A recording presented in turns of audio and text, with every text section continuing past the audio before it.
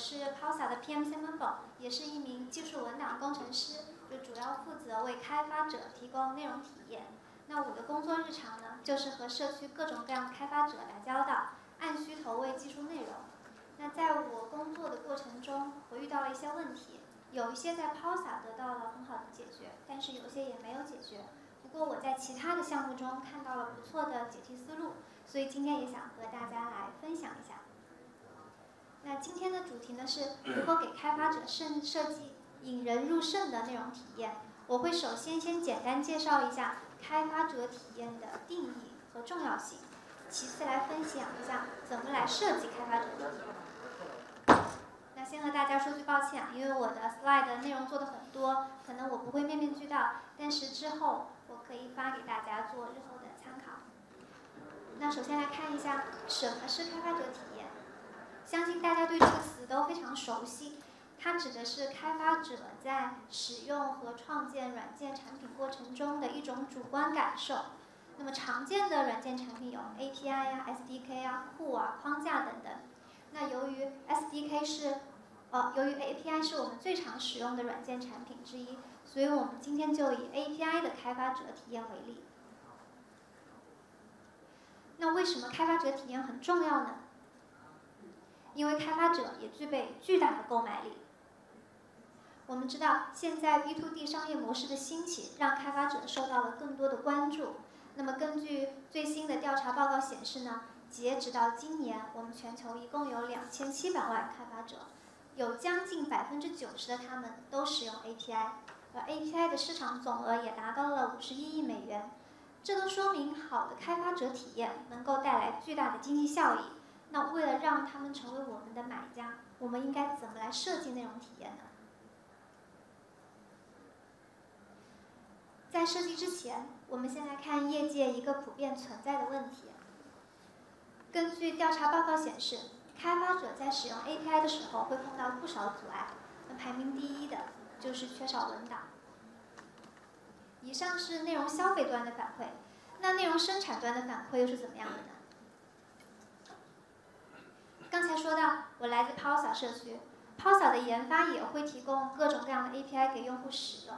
有的时候研发就会跟我吐槽说：“哎，这届用户太菜了，连这个都不知道。我们文档中不是写了吗？还不会用。”然后我就去一查，我们有什么文档呢？哦，我们只有一本大大的 Reference Guide。Reference 记录了 API 参数的各种细节，所以它很容易给人一种错觉，就是。我什么都有了，还要啥自行车呢？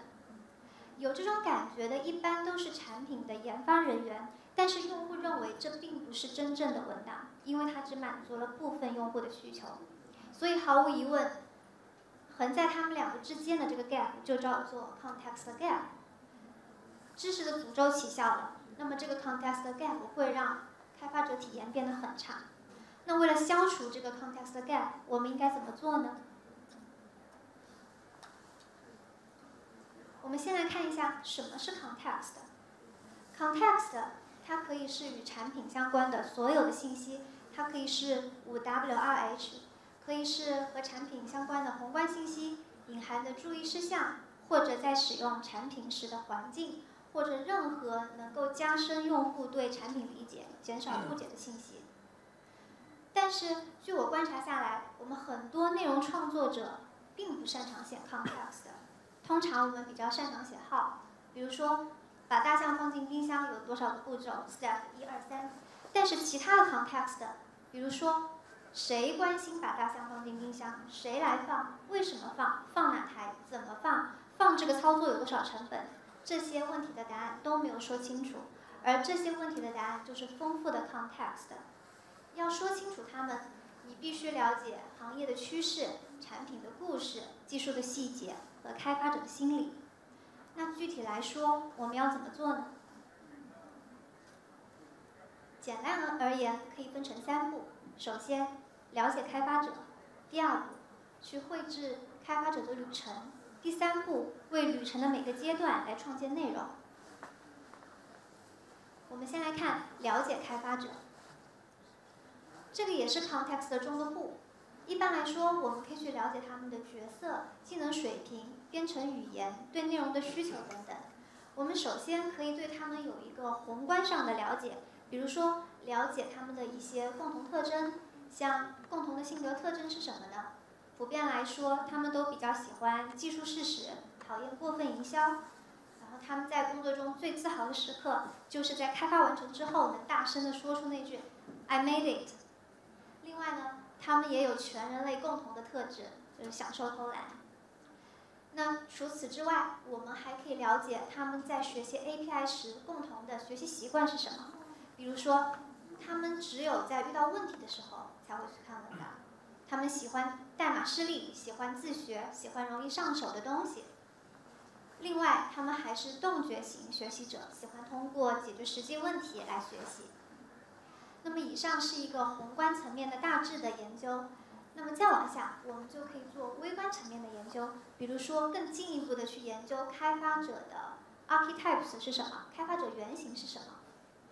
那么根据学习习惯的不同，他们可以进一步分为系统性开发者。机会型开发者和务实型开发者。那么先看系统性开发者，这种类型的开发者在上手 API 产品时，通常会非常认真的去看文档，会搞清楚文档的概念架构。所以呢，这就要求我们在设计文档的时候，信息架构最好是按照功能来划分，而不是信息类型来划分。那么机会型开发者呢？他们在上手 API 文档的时候，不太会去呃上手 API 之前不太会去看文档，或者是更多只关注文档中的代码示例。所以呢，这就要求我们在写文档的时候，对重要的信息进行适度冗余的呈现。比如说，在代码示例中增加一些有关概念性的背景信息，让他们不错过重要的背景知识。那么还有一种类型的开发者，务实型开发者。他是介于机会型和系统型之间，他们在学习到足够用的知识，就会开始上手 API，追求极致的效率。所以呢，我们可以在设计文档入口的时候，就进一步的细分开发者原型，根据他们不同的角色和学习习惯来制定学习路径。那么在对开发者有一个全面的了解之后，我们就可以进入到下一步，也就是绘制开发者旅程。一般来说，开发者使用 API 的过程是这样的：首先，他们会在网上搜搜看，找到一个合适的 API，然后就开始上手试一试，还不错的话，就会用它进行开发、测试和部署。之后完成了 APP 的开发工作之后，就会开始推广。那么相应的，它的旅程会经过 Discover、Evaluate、Get Started、Build、Maintain 和 Celebrate 这六个阶段。那在针对某每每一个阶段呢，我们还可以借助价值主张画布来对他们的主要工作任务、收益和痛点进行一个优先级和重要程度的排序。这个对我们来设计内容也是能够制定方向。那在了解完以上信息之后，我们就可以开始为每个阶段来制造设计内容了。我们首先来到的是。Discover 和 Evaluate 这两个阶段，由于它们是紧密相关的，所以我们放在一起来看。在这个阶段，开发者的任务是，嗯，我想找到一个合适的 API 来上手我的工作。但是呢，通常他们在这里就会遇到一个问题，看这里排名第二的就是我找不到合适的 API，为什么呢？因为当他们打开 API 产品主页的时候，通常看到的都是这些内容，比如说过于嗯偏 marketing 的产品说明，过于简单的功能描述，或者是太技术细节的部署信息。咱不是说这个内容不好，他们的存在也是有价值的，但是为什么开发者还是找不到呢？因为这些信息没有在第一时间回答他们的问题，也就是你这个 API 是什么，能给我带来什么价值？那我应该来怎么解决呢？我们来看一下，开发者在评估一个 API 是否合适的时候，通常会看这三个方面的因：产品方面、技术方面和商业方面。这三个方面都是非常重要、缺一不可的。照理来说，它们的内容分布应该是相对均匀的，但实际上，它们的内容分布非常失调。大部分项目的内容都是集中在技术方面，而没有说清楚产品和商业方面，所以我们相应的也要给这两个方面新增内容。那由于今天时间有限，我们就主要 focus 在产品的 what 和 why 方面。我们首先来看产品的 what 方面。开发者在了解一个陌生的产品的时候，他首先想知道的是这个产品是什么。这个呢，通常是产品的一个标语。那像很多项目就会用一条类似这样的标语：“An easier way to develop。”大家觉得这句标语怎么样？看上去挺简单好记的是吗？那我来问一下这位同学，你感觉这句标语怎么样？会有什么问题吗？并没有很清楚的解释嗯，到用户关心的，嗯，刚才讲的怎么去，就是怎么去解决用户，就是他要表达的东西跟用户真正想理解的嗯，是的，它缺失了很多信息，所以它并不是一条有效的标语啊。我们先来看一下一个有效的标语应该怎么写。那刚才我们说到呢，开发者是不喜欢。不喜欢过分营销，喜欢技术事实。那么，所以一条以开发者为中心的标语，它至少要回答这些问题。比如说，这个 API 是什么？为什么我要用它？你有什么差异化的优势？为什么你会让我的工作更简单？所以你会发现，这条标语既没有回答上面任何一一个问题，而且还引发了更多的问题。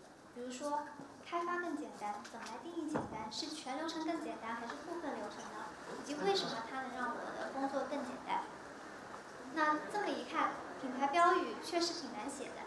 不过它有一些通用的技巧，比如说不要用呃华丽的词藻来堆砌，你的 messaging 最好百分之八十是基于功能，百分之二十是基于优势，以及在说的时候我们要注意角度，不要说你。比如说，呃，不要说我们怎么样，比如说不要说，呃，我们值得信赖，我们提供了最好的 API，而要说你，比如说你能通过我们的 API 达到什么样的目的。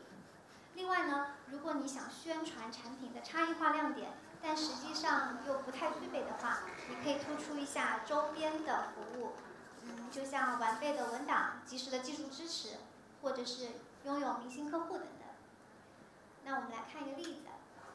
右边这个是漫威的 API 首页，那么它一开篇就用两句话非常简单的阐明了功能和它的差异化的优势，也就是漫威成立这七十年以来累积起来的漫画资产、品牌效应和粉丝群体。那么到了这一步，开发者知道了你这个产品是什么，下一步他想知道我为什么要用这个产品，也就是能给我带来什么价值。那在这里，与其平铺直叙的去说功能。不如通过 use case 来展示价值。比如说，当你说我支持一个支付的 API 有 ABC 功能的时候，开发者可能不能立刻 get 到这个对他是否有用。但是如果你通过 use case 来说明它能帮助你的终端用户收付款更加的方便和安全，那他就能立刻 get 到点。那我们也再来看一个例子。这个是 Slack 的 API 首页。它除了有 use case 之外，还有 use case tutorial，也就是说，它把呃创建的步骤和场景都非常清晰的列出来了。如果场景适配的话，我可能只需要稍微改一改代码就能一键开发。这个就像是马里奥有了无敌星，buff 叠满了。那么在这个阶段呢，我们还可以有其他的让开发者产生信任的内容，比如说 pricing information。Release notes, roadmap 等等。那么这个阶段应该避免的就是过于技术细节的内容，还有偏市场宣传的呃材料。那么接下来，当开发者了解了这是一个我对口的 API，他就会到下一个阶段，也就是 get started。在这个阶段，他最主要的任务是，我想上手试试这个 API，我想快速拿到第一个 Hello World 的结果。所以很多厂商会提供像这样的图文版的 Quick Start，这种材料通常会有两个问题。首先，虽然你提供了步骤，但是开发者是要根据你的步骤来搭建环境和准备材料，会比较麻烦。其次，它本质上还是一种静态学习，开发者的注意力不容易集中。那我们有没有一种既能让他们轻松上手试呃试试产品，又可以让他们注意力集中的方法呢？有的。我们想一下，我们什么时候注意力最集中？我的第一反应是打游戏，在那个时候，我们很容易进入心流状态。那我们能不能设计类似的内容体验呢？可以的。我们先来想一下，我们什么因素下、什么环境下会触发心流？一般来说会有这么几个：首先，你任务的挑战和技能需要平衡，不能太难，太难会引起焦虑；也不能太容易，太容易嘛会觉得无聊。当你的技能和挑战，嗯相匹配的时候，你容易产生自信，就容易进入心流状态。然后第二，你必须要有清晰的目标和及时的反馈，来指导你进入到下一步。那么第三，一次只 focus 在一件事情上。还有第四，游戏还隐含了一点，就是玩的方式，它本质上来说还是 learn by doing。然后从右下角这张图我们可以看出，learn by doing 的留存率是百分之七十五，排名第二。呃，learn by reading 静态学习的方法的留存率是倒数第二，只有百分之十。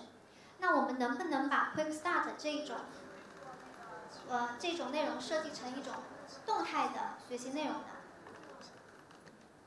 可以的，这是一个很好的、很丝滑的 onboarding 体验的例子。这个是 Strip 的 API 文档。首先呢，它是一个交互式的动态的学习环境。它提供了一个沙箱的环境，也就是说，开发者不需要设置任何环境和工具，它直接在网页上就能用起来。另外呢，它也采用了主流的左中右三列的呈现方式，让人很清楚的知道我在哪里，我能去哪里，以及怎么去。那么其次，它揭示信息的方式是渐进式的，也就是 progressive disclosure information，中间的步骤。随着你点击中间的任意一个步骤，右边你的代码示例会跟着滑动，并突出显示成彩色，就是让人很清楚的知道你的任务进行到了哪里。除此之外，它还是一个实时的代码编辑器，也就是说你可以更改中间的步骤中的任意一个参数，右边的代码示例也会跟着改动。那最后呢，它还为多种语言提供了示例，像这种。保姆级别的学习环境可以降低开发者上手的门槛，也可以提高他们任务的完成率。那么，简单总结一下，在 get started 的阶段，我们要尽快的让他上手我们的产品。此时应该避免的是冗长的付费的流程。那如果他们上手之后觉得还不错，就会进入到下一个阶段，build and maintain。在这个阶段，他们要开始真正的开发、测试和部署工作了。那他们有很多问题，比如说，我想集成多个 API，什么办法最好呢？然后运营和管理这些 API 的难度大吗？其中最常见的一个问题就是，我出错了，应该怎么办？这个时候，他们大多会去看 reference 文档。刚才我们说了，reference 像一本葵花宝典，记录了参数的所有细节，而实际上。Reference 也是他们抱怨的重灾区，为什么呢？我们先来看一个例子，这是一个关于 Pet 的 API。我们先来看一下这个 Reference 文档有什么问题。我来随机问一个同学，看看你有没有发现什么问题，或者你觉得他没问题，写的挺好的也可以。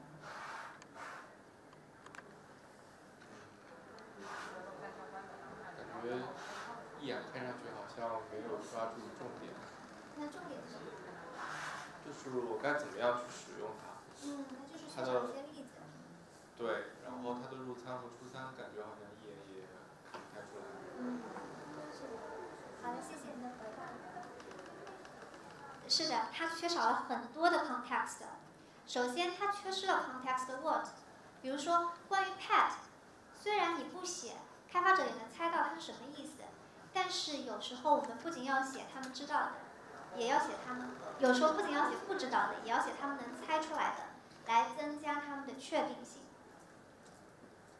第二就是缺失了很多 context word，比如说关于 ID 这个值，pet 的 ID，它的范围是 int 六十四，我就有很多问题，比如说为什么一个 ID 的值范围要这么大？它可以是零或者是负数吗？它必须是唯一的吗？如果是的话，我要怎么验证呢？它是可选的还是必选的呢？如果可选的，我没有指定的话，它有默认值吗？如果有的话是多少？如果我没指定的话，它会报错吗？返回的错误代码示例和解释又是什么？等等诸如此类的细节都没有。然后最后一点就是它缺少 context how，没有例子。所以我想，开发者看到那样的 reference，可能和我们看到这样的 translation 的感觉是一样的。也就是说，如果你不了解他们使用的技术，不了解他们使用的过程，无法像他们一样思考问题的话，你就很难给出有价值的内容。但如果你上手试过 API，了解他们的使用过程的话，你就会写出这样的 reference guide。这个例子还是 strict 的，总体而言，它的写的非常好。首先，它有简单的 context word。尽管标题已经说明了这是一个关于支付的 API，但是它还是用一句话来解释了它的概念是什么，增加了确定性。其次，它有详细的 context 问，紧接着就说了在什么情况下应该怎么处理。第三呢，它有严谨的 context word，针对支付这个金额，它给了单位、范围、注意事项等等。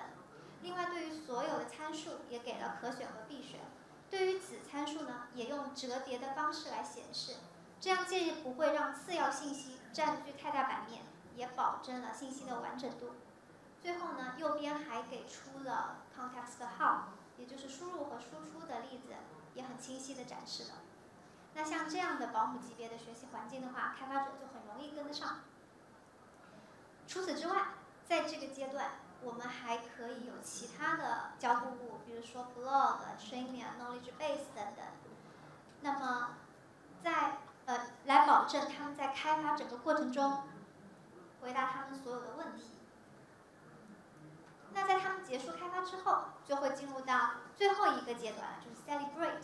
这个也是他们最兴奋的时候，因为 app 已经开发完成了，可以开始推广了。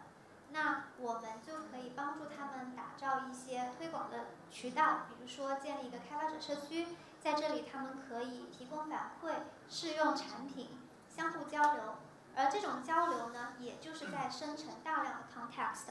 随着累积起来的 context 越来越多，他们也可以对内容做，呃，对社区做内容反哺。那这个例子我们就跳过了，这个是 Spotify 的开发者社区。然后除此之外，这个阶段我们还可以借助或者是利用其他资源来造势，比如说组织展会，邀请他们来做用户案例的分享，或者是在主流的社交媒体上来发表文章，对他们的价值做出肯定。那么以上就是开发者旅程的全部内容了。这张图是一个大致的总结，我们可以看到，一共是分为六个阶段，这六个阶段呢，他们的任务。和痛点和收益点都有不同。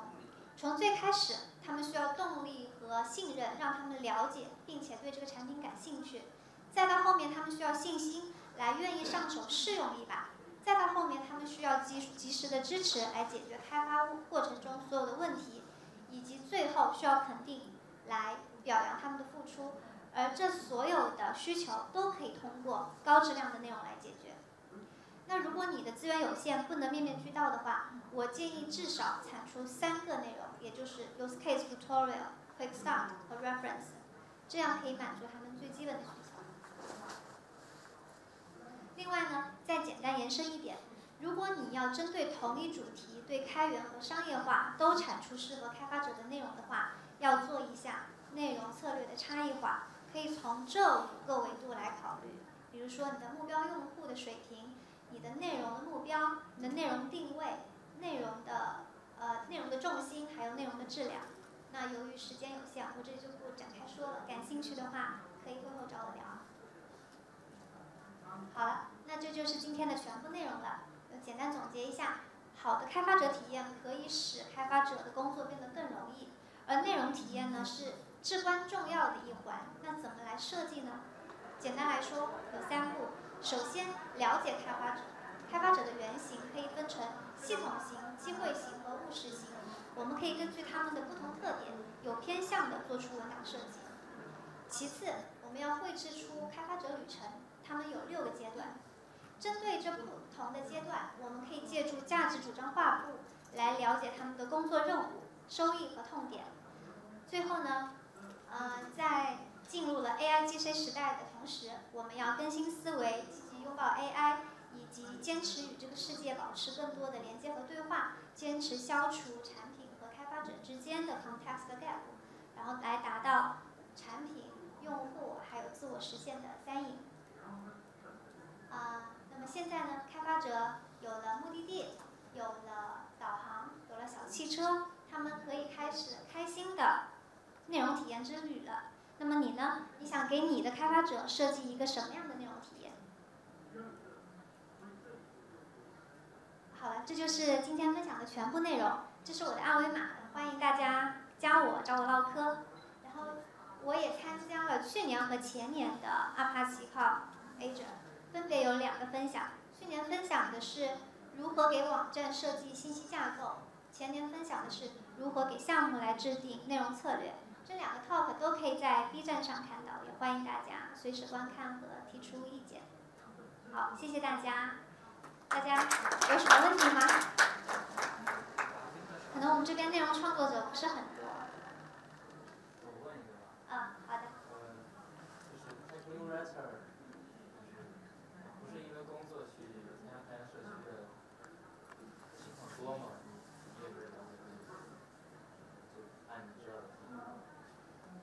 我没有遇到过，而且开源范围内的 technical writer 也是小众中的小众，因为本本身 technical writer 就是一个很小众的职位，在很多公司都没有设置，一般来说只有大厂才有。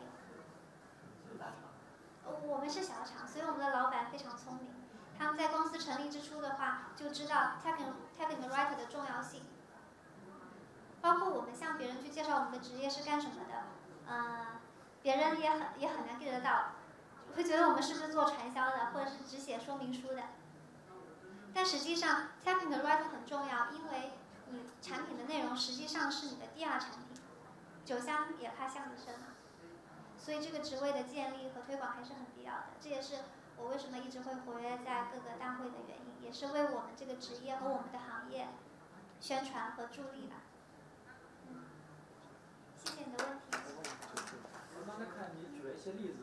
国际大厂的一些那个标准的一些文档，他们做的非常好。国内一些案例可以参考吗？更更接地气或者更中文化一点。如果是 API 的话，可以看看深网的文档，他们做的已经很全面了。也欢迎大家看 Pausa 的文档。嗯。好的。其他同学还有问题吗？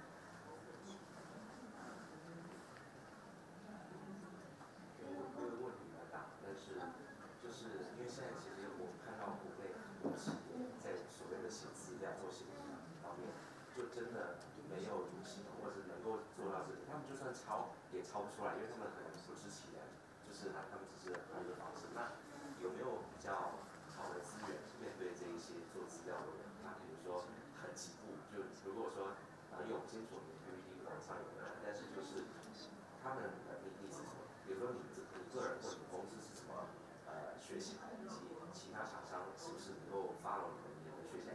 我们一起把中国的这个文档这个提这个这个质量提升。所以我我在想这个问题。谢谢 Richard 老师的问题，这确实一个很好的问题。关于我们是怎么学的，其实写文档和写程序一样，我们都不用照文字的。前人已经有非常多的好的实践和 philosophy，我们是可以 follow 的。比如说 IBM 的，我们其实很多的 idea 都是 follow 他们的 philosophy，他们已经有很成熟的一套框架，怎么来设计内容，怎么来设计内容体验。这些我们都可以作为参照，包括我刚才的用户旅程也是参照 IBM 的一些老师您翻译的那本书《开发者体验》的那本书上，它也是把它分成了不同的旅程来介绍。嗯。谢谢老师。其实我觉得更多的是一种不能落地。可能大家在工作中就是很匆匆忙忙的，六十分钟把它解，六十分把它解决了，并没有想着九十分把它做好。